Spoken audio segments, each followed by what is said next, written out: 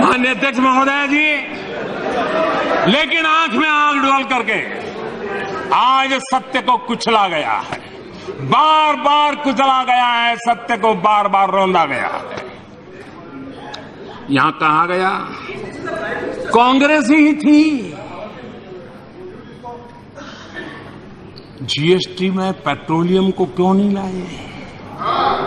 मैं जरा पूछना चाहता हूँ, अपने परिवार के इतिहास के बाहर भी को तो कांग्रेस का इतिहास है? अपने परिवार के बाहर कांग्रेस सरकारों का भी इतिहास है। अरे जरा इतना तो ध्यान रखो, जब यूपीए सरकार थी, तब पेट्रोलियमों को बाहर रखने का, जीएसटी के बाहर रखने का निर्णय आपकी सरकार ने किया था। आपको ये भी मालूम नहीं है